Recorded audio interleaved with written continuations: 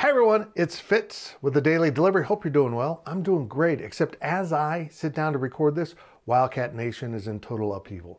Nijel Pack, star basketball player, into the transfer portal. And a lot of you are just absolutely devastated by this news. And I'm I'm surprised. I'm not shocked. I never got the vibe from Nijel he was 100% in, but I sure did get the vibe he would give it a shot. And apparently not. And maybe he's just exploring all of his options, the same thing he's doing with entering his name into the NBA draft, just trying to find out what's available to him and what others think of him. And when you get into the transfer portal, maybe you can discuss NIL money with other programs. What's in it for me? I don't blame Nijel for that. And I don't think that losing a 17 point score that was a first team all Big 12 player and shot incredibly well from three point range, what, around 44%? Losing that's not good for your program either.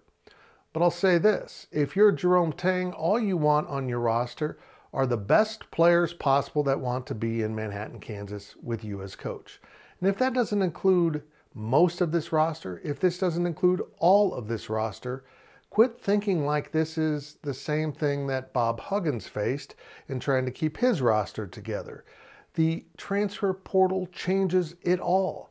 It changes the ability of players to leave your program with tremendous ease, but it also means if you have to go find 13 new guys, it might take a lot of work, it might take a lot of convincing, but you can rebuild a roster in one year as a basketball program. The transfer portal, as I've always said, goes both directions. I hope Nijel stays, but when he writes that Kansas State will still be considered for his future, I've seen other prominent players say the same thing and end up transferring.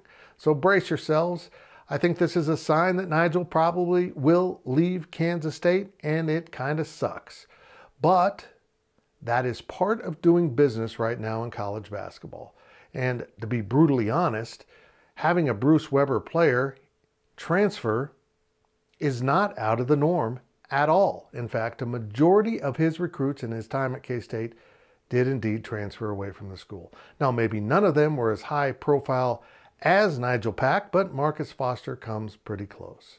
It's going to be interesting to see not only where Pack ends up, but what Tang does as he rebuilds this K State basketball program in his image with the players he wants and the players that want to be coached by Jerome Tang.